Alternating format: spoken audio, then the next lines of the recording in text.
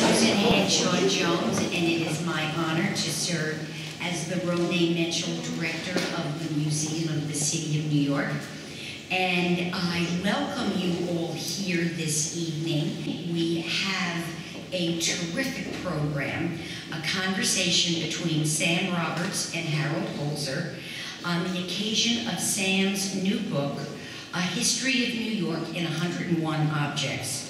Um, now, here is a title uh, that really gives you some idea about what you're going to discover in Sam's book, but it's Sam's selection uh, that makes it ever so much more marvelous. It is personal and idiosyncratic um, and completely fascinating.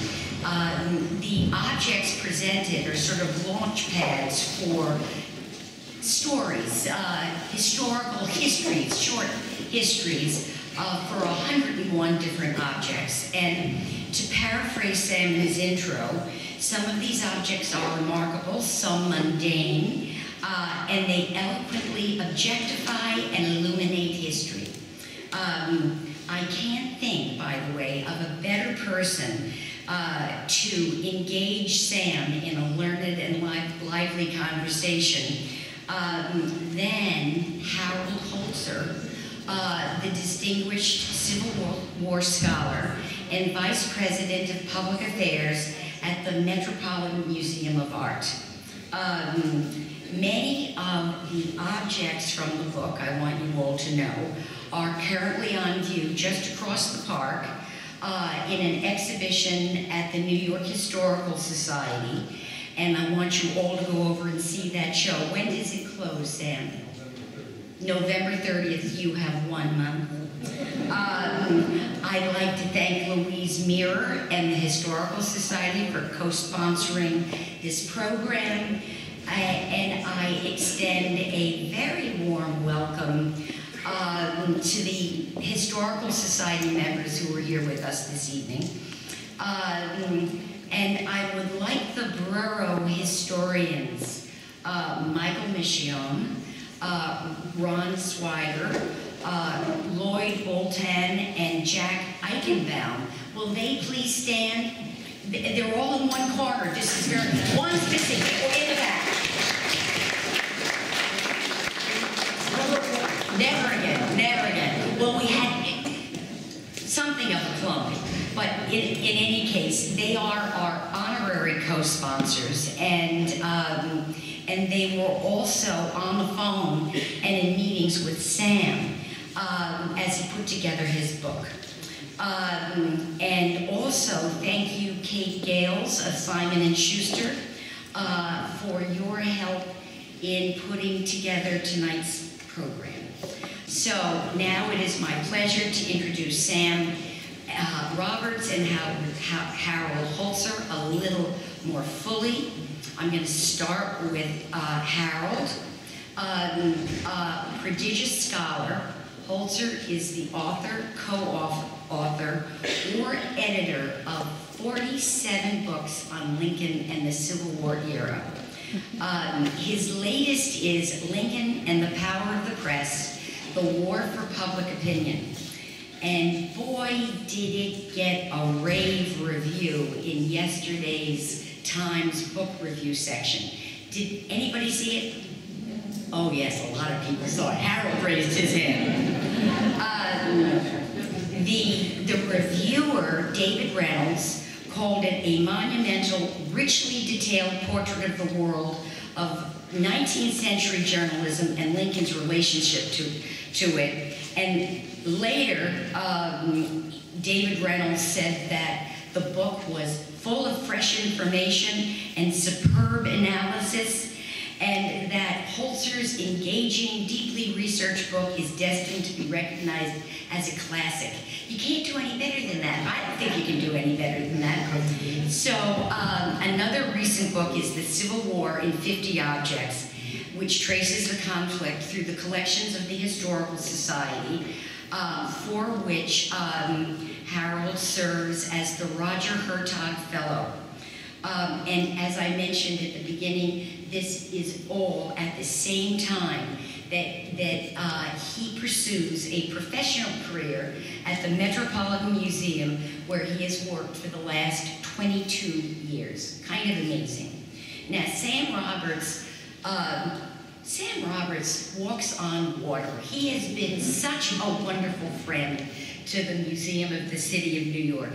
Um, we have had the honor of uh, and pleasure of working with Sam in lots of capacities. And I remember um, in 2010, uh, Sam was the editor of, of, a, of, a, of a book uh, called America's Mayor, John V. Lindsay and the Reinvention of New York. Um, and that was a companion book for an exhibition that we curated here at the City Museum. And um, that exhibition and that book um, uh, was one that was very well reviewed. And I can remember that Ed Rothstein said in his review that regardless of what you think about Lindsay, that this exhibition and Sam's book will teach you things, will educate you things about things that you never ever knew about Lindsay. Um, so many of you know that Sam is the urban affairs correspondent for the New York Times, which is his official title since 2005. But in truth, Sam has been with the New York Times for what I count to be three decades, Sam. It's three decades. That, I don't think there's anybody else there, is there? Um, so uh, before that, there was a before. Uh, Sam was a reporter and leader and editor for the Daily News. His writing has appeared in the New York Times Magazine, uh, the New Republic, uh, New York Magazine, and he is the author of Grand Central, How a Train Station Transformed America, which came out in 2013 and the brother, an untold story of the Rosenberg um, Atom spy case, which was originally published in 2003, but very importantly, a new edition um, with new information um, is hot off Simon & Schuster's presses. Um, so I guess we can ask Sam about that too tonight.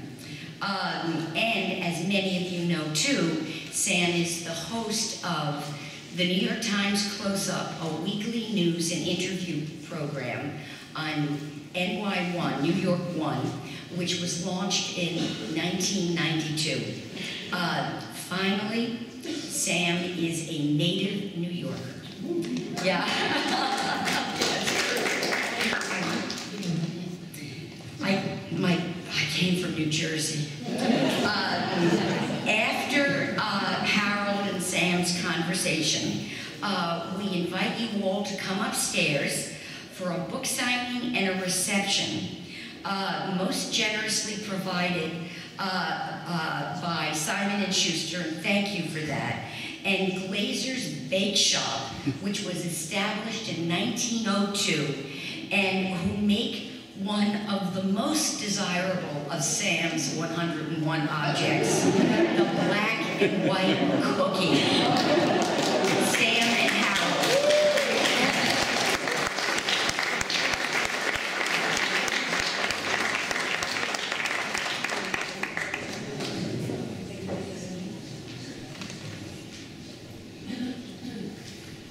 Susan really did it, right? We didn't really need to do, uh, much. So welcome, everyone. I'm going to be, I'm, Sam has been interviewing me for 40 years, so I get to interview him today, and I see the, the dust jacket is on screen, but there's nothing like a book.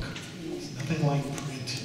So this is the book, which you will have the opportunity to, uh, to buy if you don't join and get it as a premium and have Sam sign after the program, in between bites of the black and white cookie. So, we're here to discuss a few of the 101 objects that Sam Roberts chose. It's great that we're here with well, someone who's a New York icon who could have been number 102 in his own book.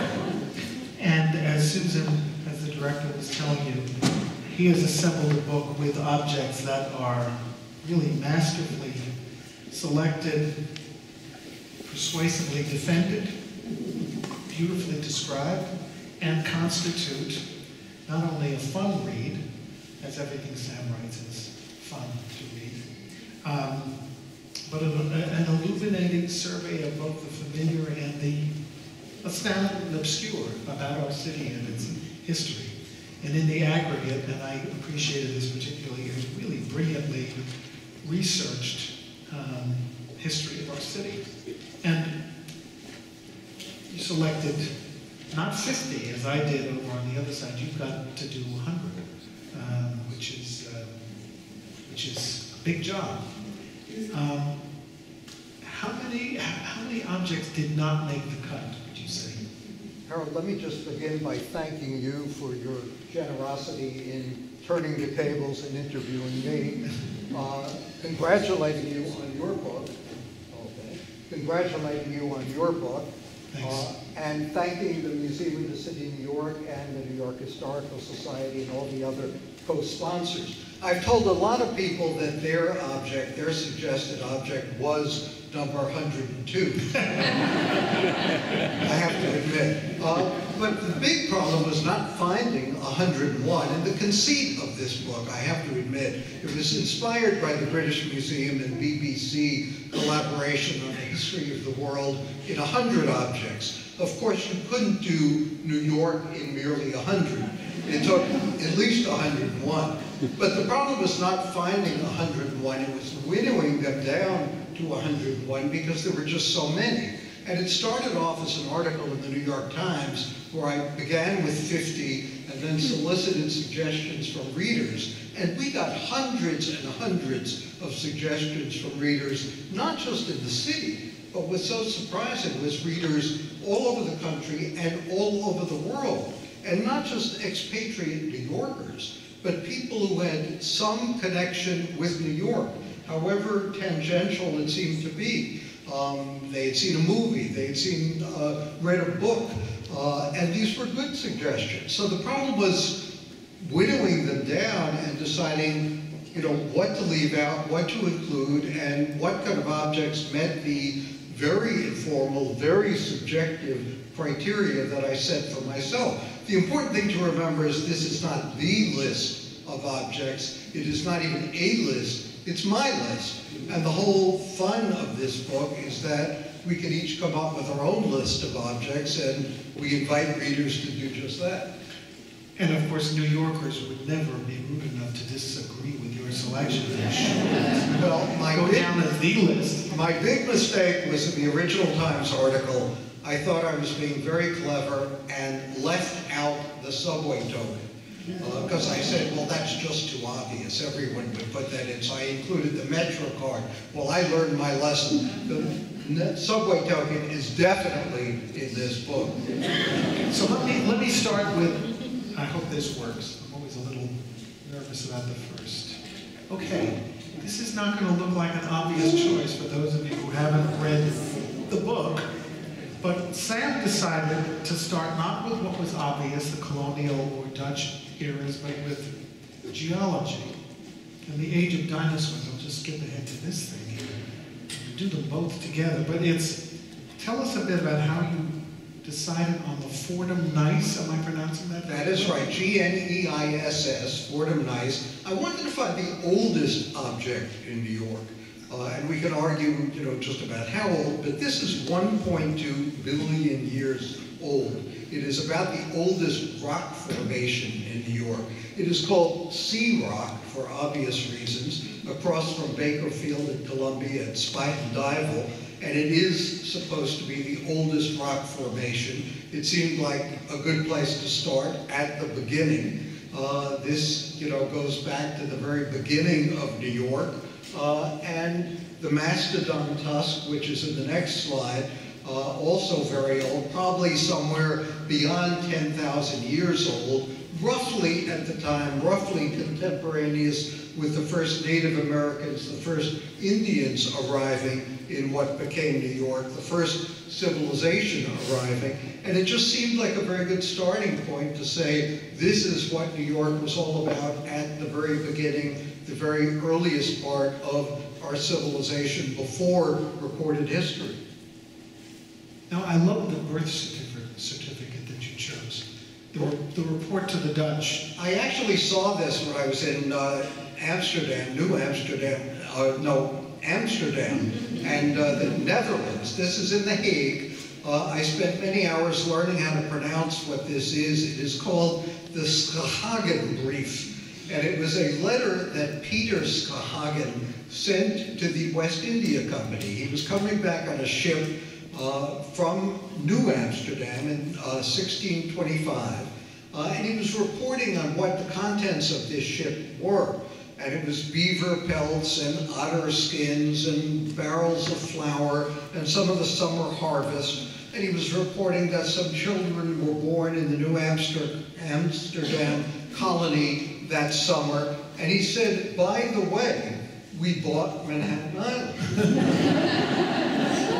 And this is as close as you can come to the birth certificate of New York City. Now, of course, the Indians didn't think they had sold Manhattan Island. They didn't have quite the same concept of property rights as the Dutch, the Europeans did. But as far as the Dutch were concerned, 460 guilders, which famously later in the 19th century was translated into roughly $24, uh, they thought they had bought what became Manhattan Island. Uh, and this, which is in The Hague, it visited uh, New York briefly for the quadricentennial of Henry Hudson's voyage in 2009, is New York City's birth certificate. And if any object deserves to be included in this book, this is surely one of those iconic ones.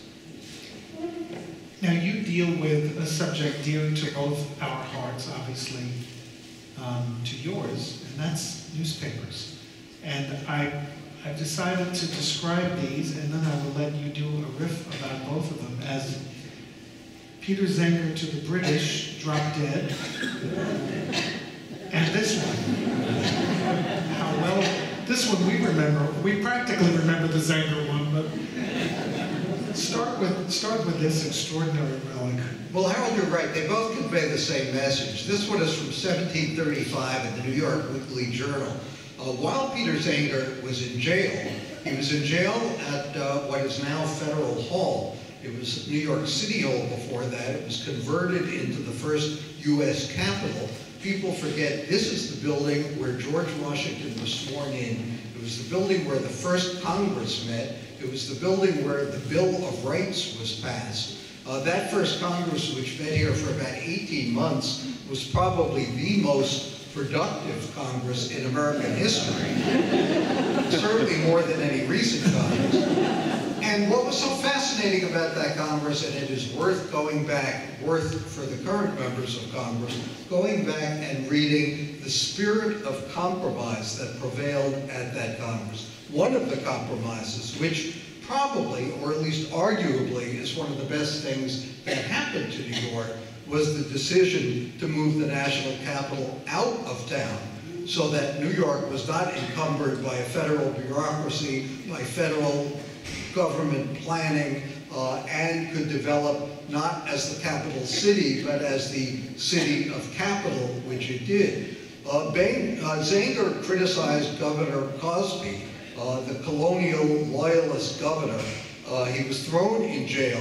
While he was in jail, one of the facts I discovered was his wife went on publishing the newspaper, uh, one of the many unsung women in New York history. Uh, and he went to trial, a jury trial in uh, that building, uh, and he was acquitted. He was acquitted uh, by a lawyer who represented him from Philadelphia, Andrew Hamilton, a lawyer who was meticulous in his methods, and apparently it was that lawyer who gave birth to the phrase, a Philadelphia lawyer. Um, and he won on the basis of a novel concept, a concept that wasn't uh, really um, built into English law, and that was that truth is a defense. Uh, that Governor Cosby was authoritarian. He was arguably corrupt, uh, and the jury acquitted him. Uh, and this was a principle that was established in 1735, long before, decades before, the Bill of Rights and freedom of the press was established in that very building upstairs that became the U.S. Capitol. Now, the second slide I happen to have been a couple of feet away from uh, when that headline was written. This is, this is Gracie Mansion? Yes, this was Gracie Mansion, uh, Abe Beame, the mayor, holding that headline in the 1970s during the city's fiscal crisis. There is a school of thought that says Gerald Ford denying federal loan guarantees to the city at that point was a good thing because it allowed the city to rally support in Congress to get its house in order uh, and therefore ultimately win those guarantees from Congress. We can debate that back and forth, but at that point, it was certainly a slap in the city's face. You could also make the argument Gerald Ford never said the two words, drop dead. Mike O'Neill and Bill Brink, the editors of the Daily News, were out to lunch when Ford gave his speech. They came back and they said to me, what did Ford say when he was talking about New York City? And I explained it in so many words. And Bill Brink, or Mike O'Neill said, well, I guess he said, F you. And Bill Brink put it more politely and he said, drop dead. And eyes lit up and everyone said, my God, that's the headline. And there it was. And it became this great iconic headline. It cost Ford the election the following year, 1976. He lost New York, lost the election to Jimmy Carter. Uh, and, you know, he blames that headline for losing New York and the election. And once again, uh, shows, as it showed with Peter Zenger, the power of the press. And by the way, nothing more vividly attests to the fact that Abe Beame was our shortest mayor than the fact that he's holding a tabloid here that's covering his entire body. It's a cutie pie. So I'm going to skip and go to this. Now, you could have chosen a number of relics that associate George Washington with New York, and you chose this Liberty Bell-like cracked uh, tablet delineating the spot where he took the oath. Where is it, and Well- why did you choose it? I chose it because one of the things I was looking for in the book was iconic objects, uh, but things that were also sort of quirky, that were unexpected. And not many people know, because not many people unfortunately know much about New York history. This is in Federal Hall to this day. This is the spot on which George Washington stood. As I say in the book, there are not many places where you could say that George Washington slept here in New York, but you can say George Washington stepped here. Uh, this is where he stepped when he took the oath of office on the balcony of Federal Hall in uh, the time that he was sworn in in that first inauguration. That is the slab of granite that he stood on. It is still in Federal Hall. It was painted over, you know, it was sort of vandalized in that sense. But that is the uh, slab on which he stood, and it is still there, And still visible. still visible. So skipping ahead again, I thought it was charming and and and provocative that you chose to remind us about immigration and immigrants, not with something obvious, but with a Singer sewing machine, an object that so many immigrant, young immigrant women turn to for their livelihood. But it also enabled you to speak about the garment industry, once our biggest. Well, the garment industry, my grandfather had one of these at home. He was a pattern maker in the garment industry. And we forget that the garment industry was a driving force on two fronts in New York. One, of course, is, as Harold says, was the industrialization of New York.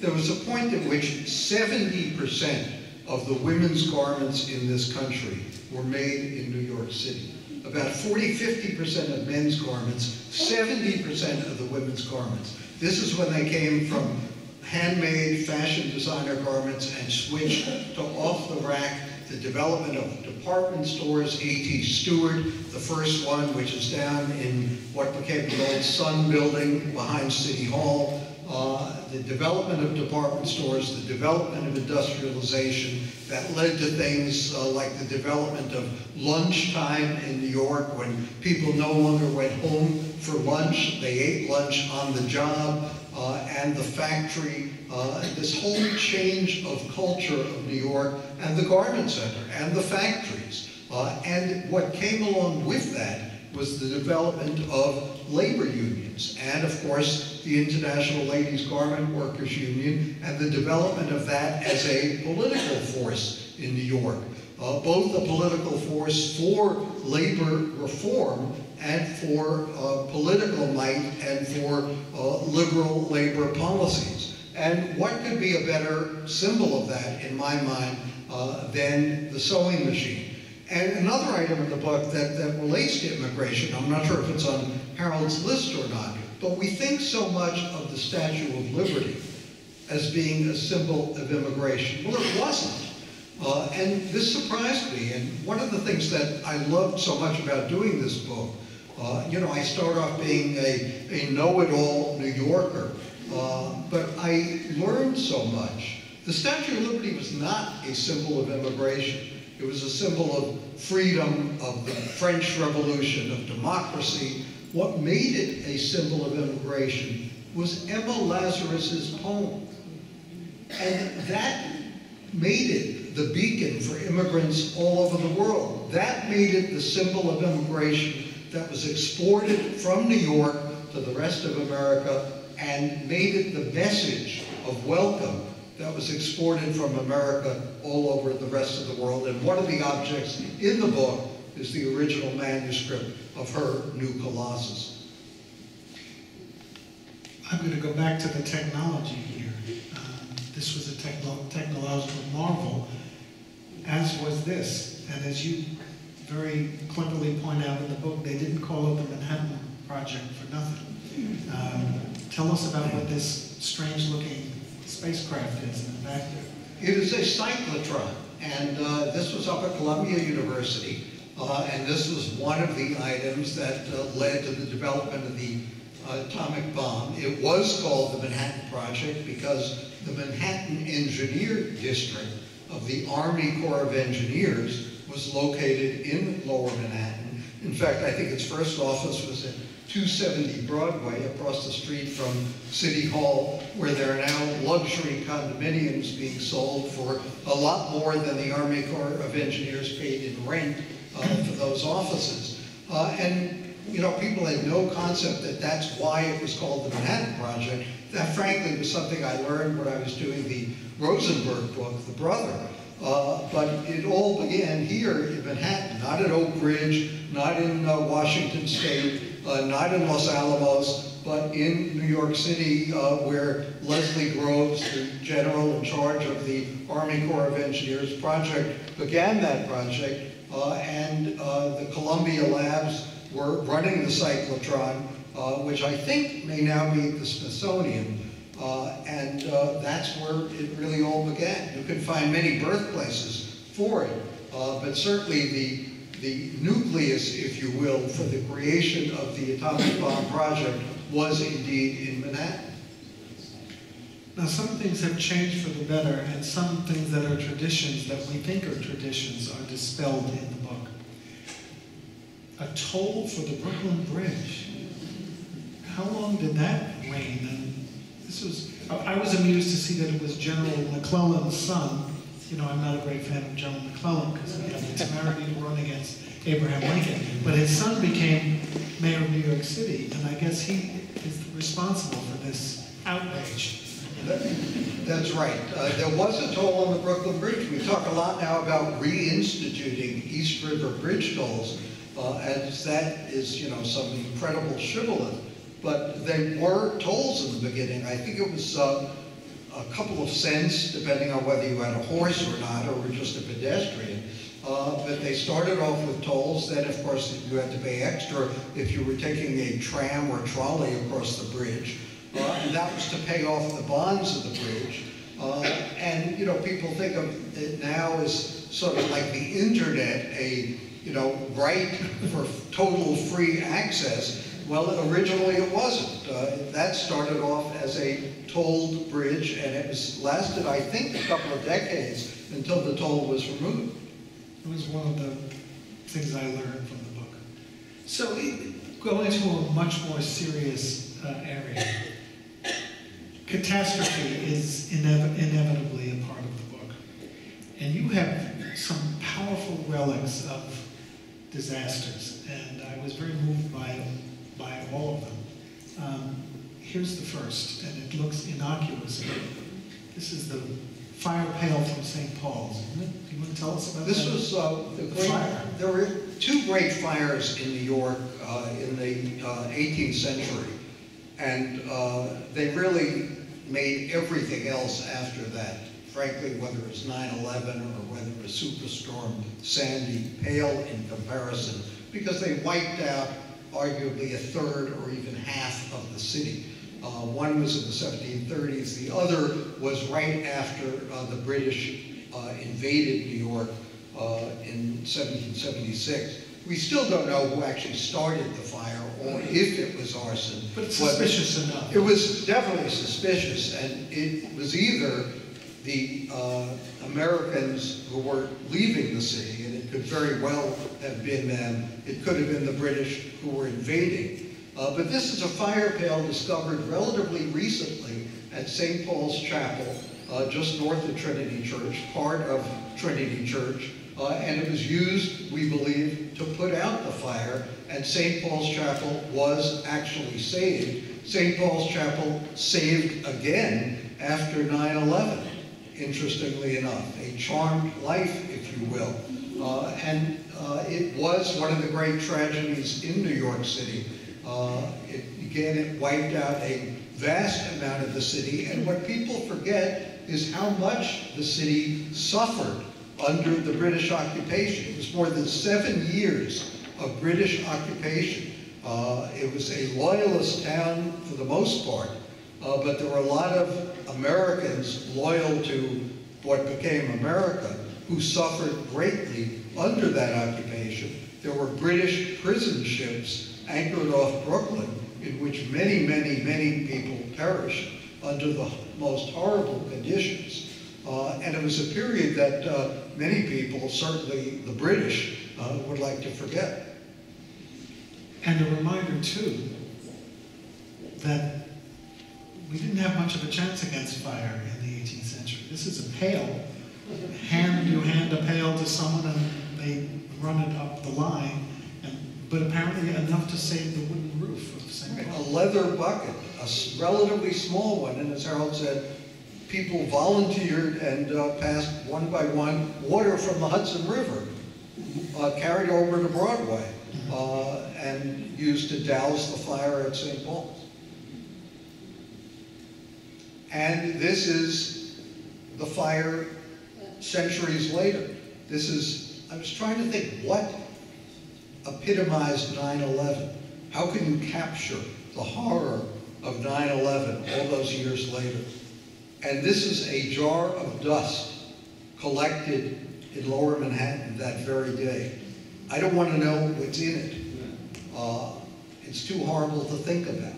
But this is dust collected at that site the very day of 9/11. And it just allows us to think of the awful tragedy of that day and lets us stop and ponder the implications of what happened then and its implications for the city. It really does. It's almost a, um, a Rorschach test in the patterns that you see and perceive out of it. It's haunting in so many ways, and a terrific choice. I mean, how do you take something so grand and fit it into a book? And I think this does it so successfully. So the next, the next tragedy to explore is, is an object that we each put in our books of X number of objects. Um, the draft wheel, a draft wheel from Lower Manhattan, but it, you know, one of those draft wheels that led to a riot that led to another fire. But this is your show, so you talk about it. Well, it. Harold knows more about this one than I do, but this is the wheel where names were placed in this wheel, drawn out, and if you had the misfortune of having your name drawn, you would be drafted into the Union Army in the Civil War unless, unless you had the $300 to pay to get out of the draft. Uh, and uh, the fact that Native Americans, Protestants, were more wealthy to avoid the draft and mostly Irish immigrants were too poor to avoid the draft is what led to the draft riots in 1863, uh, for which troops had to be brought back from Gettysburg to suppress those riots. Uh, there were fires, looting, murders, lynchings uh, all over the city. Uh, it was a shameful episode of the city's history. Uh, and Boss Tweed, in his wisdom and in his uh, political savvy, uh, passed a bond issue to raise $300 each for the people who didn't want to go into the Union Army. The city would provide that $300 to buy them out of the draft. Uh, this was patronage in the purest sense, uh, and it avoided the draft and, in effect, ended the draft riots for those people. Um, and it also created an interesting uh, side effect uh, that there were lots of enlistments of black soldiers for the Union Army that followed that. As Harold, I'm sure, knows better than I do. And, and Lincoln wisely removed the $300 substitute provision in the next draft bill, so that vanished.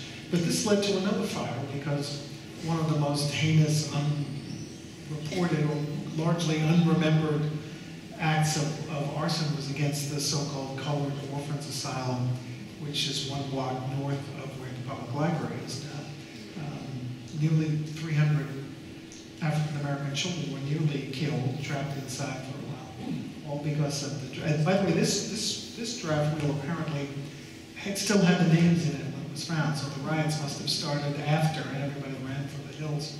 So I have one more fire story. Um, probably the greatest preserved, saved from disaster relic in New York history, the Flushing Remonstrance. Um, tell us what that means in our history. Well, the Flushing- back in time, obviously. Right, we're moving a little back, back and forth. This is 1657, the good citizens of Flushing, Queens. Uh, Peter Stuyvesant, uh, who was no great tolerant leader, uh, represented the West India Company, which was tolerant. And what distinguished New Amsterdam from just about every other settlement in what became America was the fact that people did not come here to mine gold. They didn't come here to convert the Indians. Uh, they came here to make money. And if you didn't interfere with that money making, you were accepted. Uh, you didn't have to be liked. So when people say that this was a great example of tolerance, perhaps that's assuming too much. Maybe it was indifference rather than tolerance. Let's not be too cynical, let's accept it for what it was. But that is what distinguished New York from virtually every other place in the country, and that is an attitude that was exported from New York to the rest of America. And it was an attitude that endured. That was part of the New York legacy. Well, Stuyvesant was not too in tune with that legacy when it came to Jews, when it came to Quakers, and the citizens of Flushing stood up to Stuyvesant and said, we don't like this. Quakers are just as good as everyone else. We are uh, issuing a remonstrance, a wonderful word, word in and of itself. And this remonstrance is saying, you have to obey by the original agreement made by the West India Company. You have to obey that agreement. And if not, you will have to be held accountable by the West India Company, uh, and we are going to make sure that you will do so. Uh, and ultimately, Stuyvesant was, uh, he was really held accountable in 1664 when the British showed up and the people of New Amsterdam preferred to surrender to the British rather than have Peter Stuyvesant stay as the Governor General of the colony. Uh, so this, and what you have to remember is this is 1657, more than a century before the Bill of Rights. And we think of all of this American history occurring, you know, in the late um, 18th century with the Continental Congress, with uh, the Congress, with the Bill of Rights, and yet here in New York, not a city known for its history. Um, it happened here.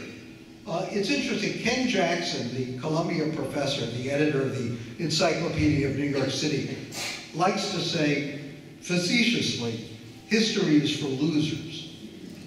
He means, you think of places like Jamestown, Plymouth, they sort of wallow in their history because they don't really have much else.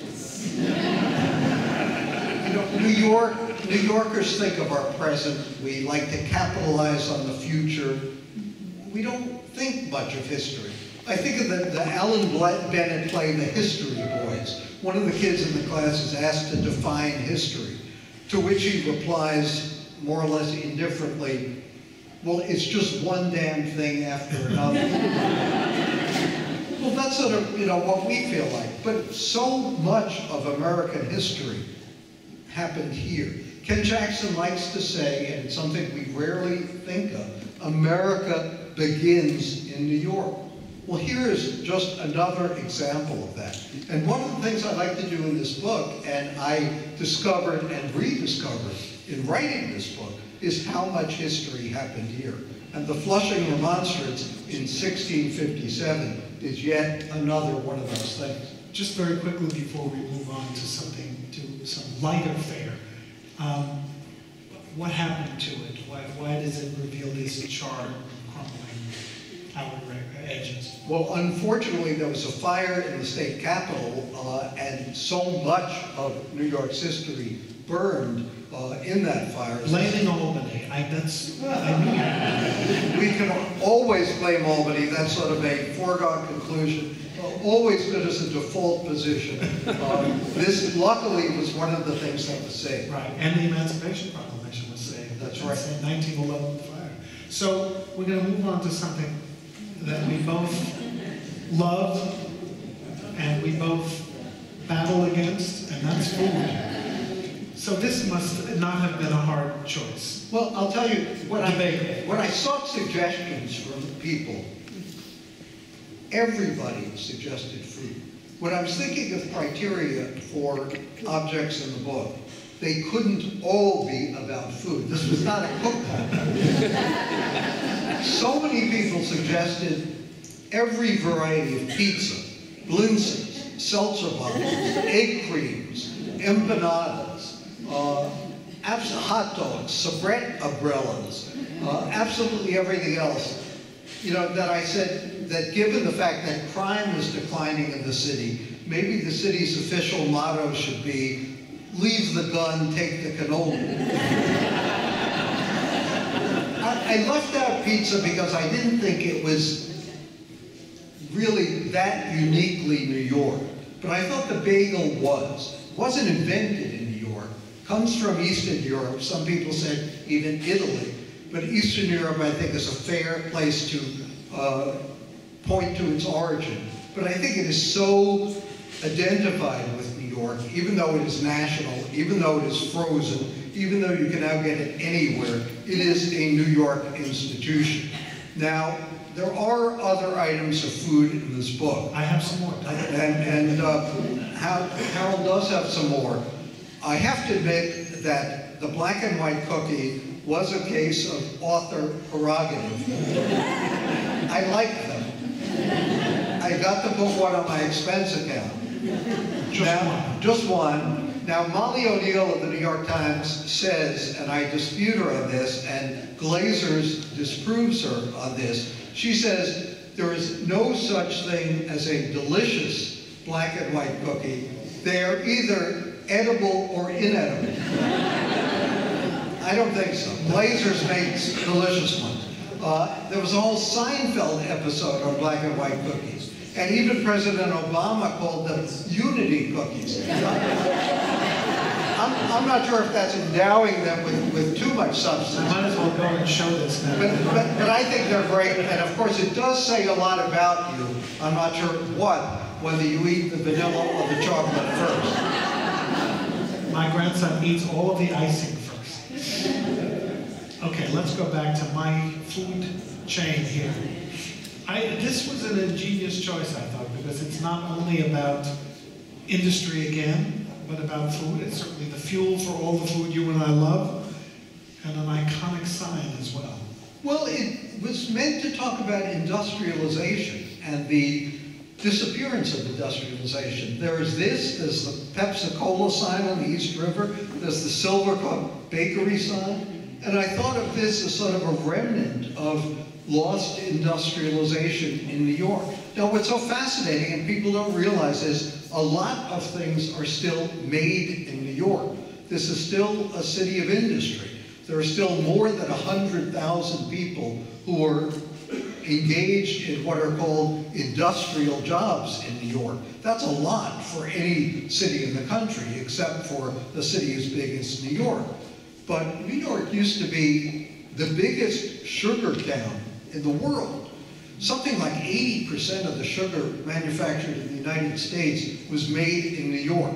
Exactly why it was sort of a serendipitous uh, circumstance. It was shipped here, uh, it was manufactured here because it had a relatively short shelf life, and it was distributed here from the northeast to the northeast and midwest uh, because we had the best uh, means of transportation by boat, by the Erie Canal, by train. Uh, but New York was the biggest sugar manufacturing center uh, in the United States, certainly, and in the world. It turned out, luckily for Harold and for myself, Sweet and Low also became the biggest manufacturer of, you know, low carb, low calorie uh, sweetener as well. But to me, as a as a picture of uh, of lost manufacturing, this seemed like a good object. Now, Harold asked initially, what are the objects I left out? What are the things I thought of afterward? Which was also sort of a symbol of change in New York, was the inflatable rat. sort of as a symbol of the air going out of organized labor. Uh, and that too would be one of my proverbial 102 objects if there is another volume to this book. And of course, this means so much in New York museum history because the Havemeyer family, which owned Domino's, became among the biggest contributors of art to the Metropolitan Museum and to other museums in the city. I'm going to have to skip over some food things here so we can make sure we don't run out of time. But I can't run, I cannot omit this one because I learned from Sam Roberts' book that long before Mike Bloomberg um, tried to dissuade us from um, big sodas, there was a campaign against the artichoke. Right. Well, I was looking again for quirky objects. Uh, why in a book about New York City, a history of New York and 101 objects, would I include, say, the mechanical cotton picker? Where are you going to find the mechanical cotton picker in New York? You're not. But it was the introduction of the mechanical cotton picker in the late 1940s that freed blacks from the land in the South and began one of the migrations to the north and New York and changed the demography of New York City. And as Harold said, if you think you're living in a nanny state under Rudy Giuliani or under Mike Bloomberg, think back to Mayor LaGuardia. He banned the sale of artichokes. Why? Because Ciro Terranova was the artichoke king. Ciro Terranova controlled organized crime because he controlled the market in artichokes. And LaGuardia thought if he banned the sale of artichokes, he would get rid of organized crime. Well, that worked about as well as getting rid of the Slurpee or Big Slurp or whatever it is. LaGuardia not only banned the sale of artichokes, he banned Ciro Terranova. He had him arrested for vagrancy when he crossed the city line from Pelham to the Bronx. That didn't work either. Uh, and it was just sort of symbolic, emblematic of what a mayor is willing to do, the limits of mayoral power, and the ethnic um, change in demography of organized crime over one era to the, to the next. And it just seemed like an artichoke would capture people's imagination, capture people's eye, and get people, and the whole purpose of this book, get people to think about history in different ways, get kids to think about history in imaginative ways. Not through the people you ordinarily learn, or the dates you have to memorize, or the events that you know by rote, but thinking about history in ways that spark the imagination and get you to explore and get interested in it in ways that you might not otherwise do. Astonishingly, we're running out of time, and I want to give people a chance to ask questions. So I'm just going to make sure you all know that Sam Roberts also covers sports with Bobby Thomson's bat and Jackie Robinson's glove. We don't want anything, he left that out. The one object I could not find in the book, there is only one that doesn't exist. That was one of my criteria that had to exist. The one I could not find was Bobby Thomson's home run ball. But you got the bat. I got the bat. The bat is at the Hall of Fame in Cooperstown. I think that's pretty good. And they didn't do as well as this year's Giants. They lost to the Yankees in the Series. Um, and Art, oh, the small, small Dean you have. Well, we got to rush, but just so you know, and for those who think that he left out art because he's a denizen of art museums, as we know, he, he deals with the 1913 Armory Show. And thank you for this. I made 702 suggestions to Sam Roberts, but I got this. One of the 102 objects that got left out in deference to, uh, to Harold was Bella Abzug's hat. Which I really didn't want very much. Harold used to work for Bella Abzug. So let's, I don't want to keep the Met icon, Met button on for the whole. So who has a question for Sam? Yes. Yeah, um, I think that was very good, the connection that you made with the uh, World Trade Center and the dust and the, the wheel uh, for the for the draft rights in 1863. But um, events are very important, and you can't. Oh, well, I should say you can't. Uh, it's difficult omitting certain events. Was it difficult making a link between an event and something like the dust or the uh, the wheel? Well, the question was, was there difficulty making a link between an event and an object? The idea of the object was to make people think of the event. It is not the object itself that is necessarily important. It is the object that objectifies, if you will, the event or the time period or the era in history. It's very interesting when, you know, Neil MacGregor at the British Museum is sort of the father of this movement to look at history through objects. We have now spawned the whole cottage industry uh, of doing that. Harold's book on the Civil War, uh, books about World War I, about the Beatles, about uh, looking at butterflies, about New York City history, about lots of things. Uh, the Smithsonian's book of a history of America, now a history of the world, uh, and the reasons for it. In a, in a virtual world, objects lend a certain authenticity things. They learn a certain, lend a certain dimension to things. In a materialistic world, they lend a certain value to things. No one is paying a million dollars uh, for a Spalding or for a jar of dust, and yet they have a certain value. Um, the fact that we're picking a finite number, 101, allows you to put things in a digestible form. You can sort of wrap your arms around them. As someone said, they let all of us be Simon Cowell. We can, you know, we can all make lists of things. Um, and also, you know, unlike timelines and events and, and chronologies, you get a feeling that there was a reason to invent something, that, that things didn't just happen automatically. Uh, there was a reason for something to happen and to be created and to come along and for trial and error. So I think looking at objects makes a great deal of sense. Um, you know, it is not, it is a gimmick in a way, of course, uh, and it can be carried away. But I think you also look at, at things in your personal life. Uh, you know, what is your rosebud moment?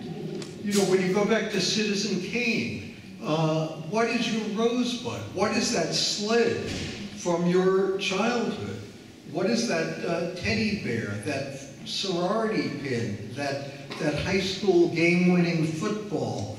Uh, what is it that, that is the transformational moment in your life that is captured by a single object? That's what I tried to do in this book. I tried to do it for a whole city, and I tried to create a number 101. Uh, but what's so much fun about this, and we created a, an email, objects of nyc at gmail.com, for people to write in. This is a participatory thing. It's a parlor game. Uh, it is fun. Uh, it is, again, not my list, it's your list. Uh, to be fun and to make people think about what you would do, uh, what you would think of if you were making your history of New York. Oh, goodness. Yes. Thank you very much for this talk, and Harold, welcome back.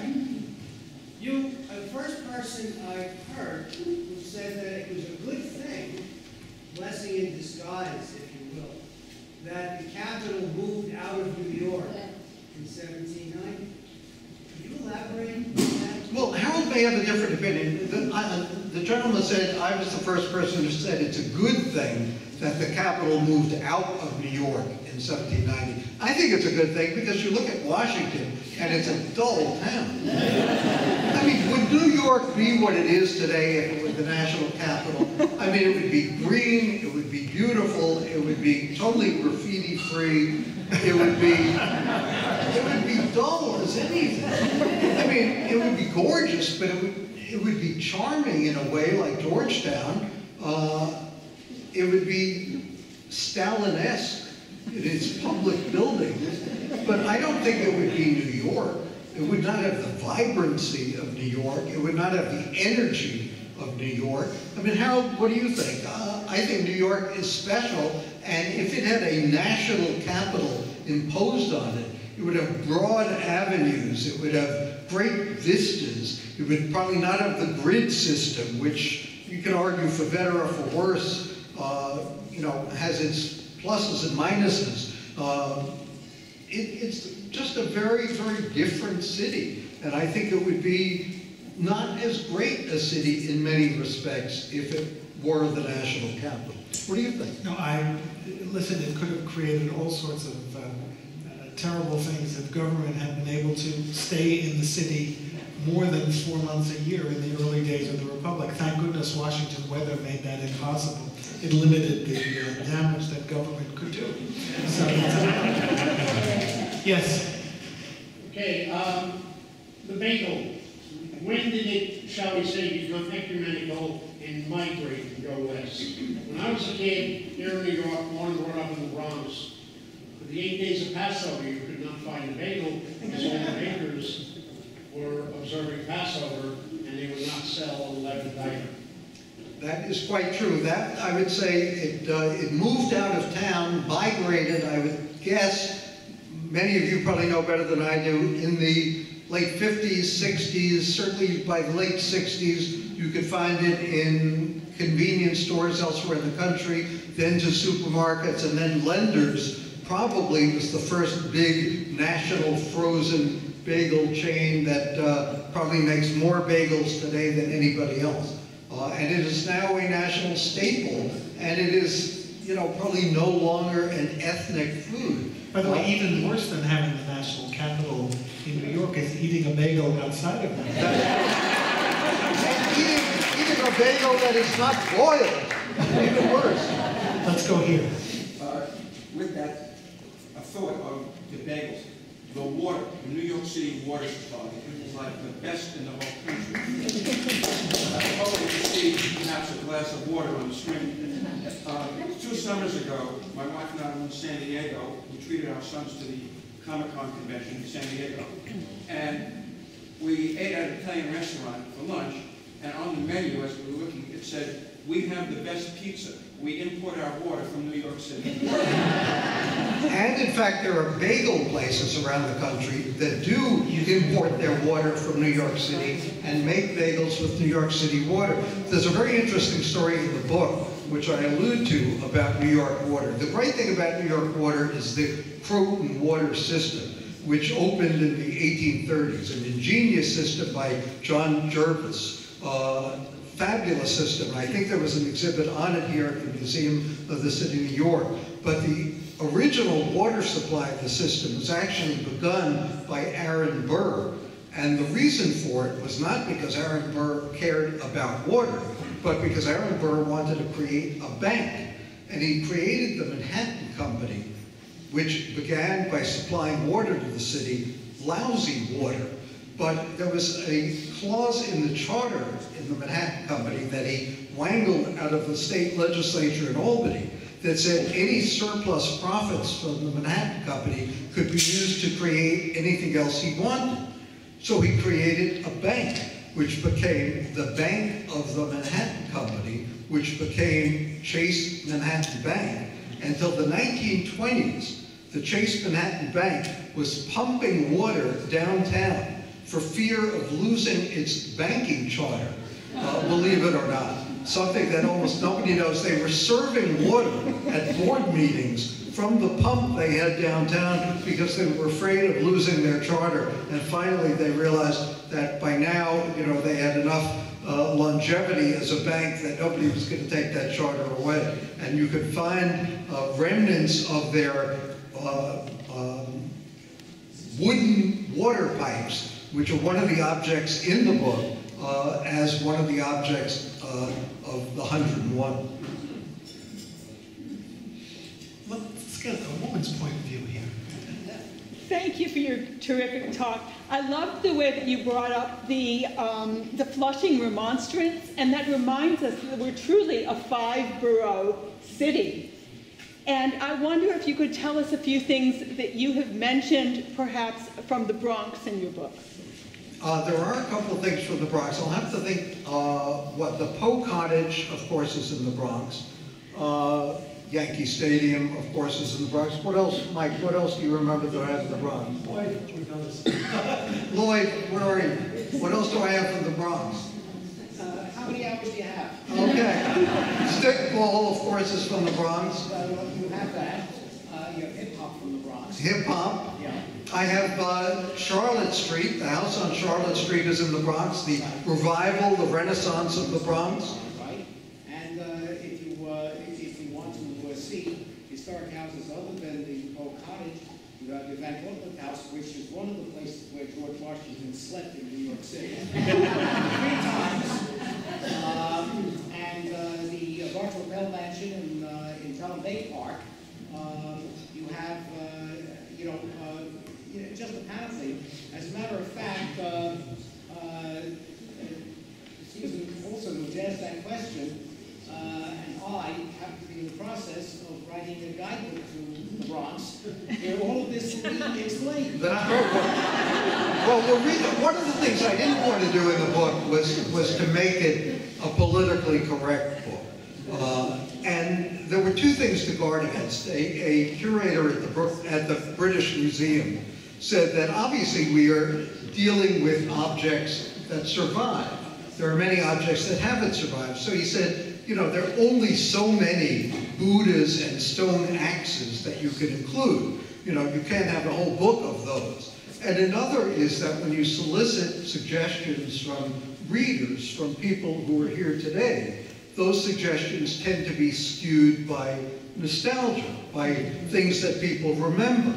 So this past summer, when the Smithsonian asked Americans to pick the most iconic object in its collection, its entire collection, 90,000 people weighed in. And what, did, what won number one?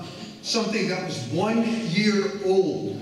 The panda that was born last year at the National Zoo. So, you know, you have to think of things that will be enduring. So when I was looking at the past couple of decades, I left a lot of things out because I wasn't sure what would be enduring 20, 30, 50, 100 years from now. So I have the jar of dust from 9/11, and I have from Superstorm Sandy in 2012, the Madonna that survived the storm and the fire at Breezy Point in Queens. Because I thought that would be, no matter what, another example of New York City's resilience, as it has survived many other disasters, and I think always will. But when it comes to, you know, other things that we tend to think might be important in the short run, you know, you've got to stand back and take a sort of larger picture and say, will they indeed turn out to be important later on? Before we end, tell us what borough you were born in. Brooklyn, I think we're going to have to close it because, but Sam will be available at the book table to answer questions. And I just, I, I want to object, the only thing I want to object to of all the things you explored today, object is a good word. it's a Brooklyn, a Brooklyn pronunciation. To, object. You described this, and I think, of course, you didn't mean to limit it this way, but you described this as a parlor game. It's something that we can all be involved in. It's, it's, it's much more, as I've read it. It's history writ large in these beautiful little sonnets. It's not just the objects, but the way Sam has written about it. And to accomplish what he accomplished, you need the skill of a of a consummate reporter, which Sam Roberts is, uh, who also writes like a poet. And um, fortunately for readers of New York City history, uh, we've met the person who personifies both skills, and the result is this wonderful book. Thank you, Sam. Thank you, Harold, and thank you all for coming. Thank you.